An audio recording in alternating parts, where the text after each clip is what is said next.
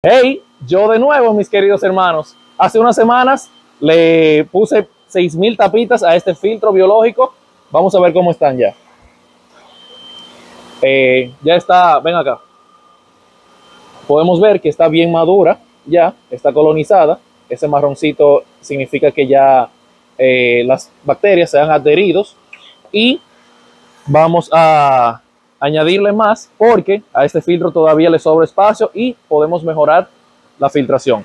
Estas tapitas las tenemos para que las bacterias puedan colonizarlas. Es, su hogar permanente y estas tapitas no van para, para ningún lado. No tienen que preocuparse que eso llegue al mar ni nada de eso. Esto se va a quedar aquí y se va a usar por siempre, siempre y cuando siga existiendo este sistema que es acuapónico. Por allá, mira para allá, tenemos los peces, por allá, y hacia allá tenemos el invernadero que tenemos nuestras plantas, que se alimentan de las, eh, los nutrientes que salen de las heces fecales de los peces.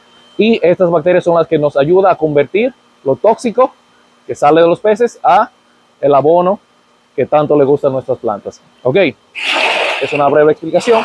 Miren, la nueva, la nueva es completamente blanca y la que ya está madura ya está marroncita. Esa es la diferencia. Ese es el uso y la diferencia de esta. Ok, bye.